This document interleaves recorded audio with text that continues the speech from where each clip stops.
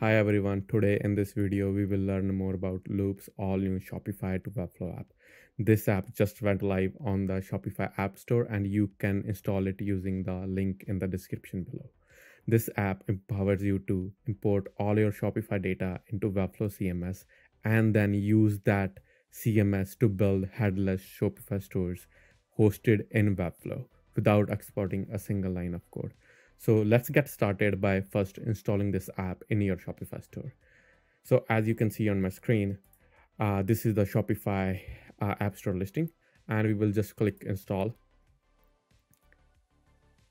And then it will ask us to install it on our Shopify store and let's click install again.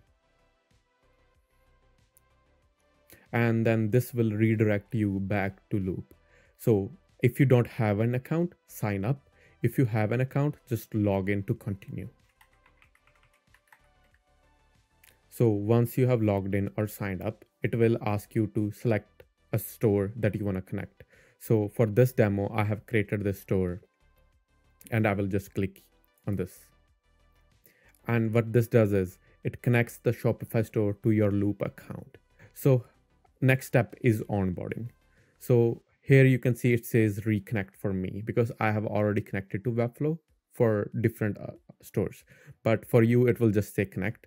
But every time you wanna add a new store, I recommend collect reconnect and then select the workspace or all the Webflow projects that you wanna give access to Looop. So for this case, I will just select my workspace and then authorize the app. So now what this has done is it has given Looop access to all the websites in my workspace. So now it is asking us which exact project you want to connect to the Shopify store. So here I know that I want to connect this one, YouTube Loop Nufi. And then I will just hit connect and then just give it a couple of seconds. And then it will talk to Webflow API and connect your CMS with Shopify.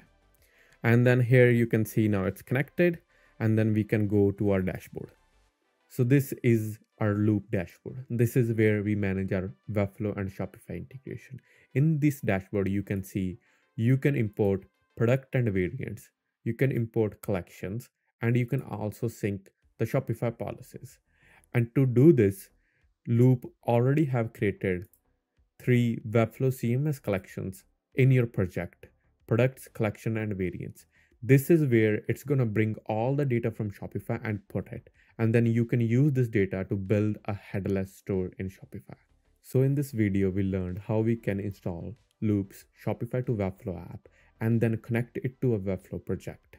So in next videos, we will use Webflow app to build a headless Shopify store with the Shopify powered cart and checkout. So please subscribe and stay tuned for new videos.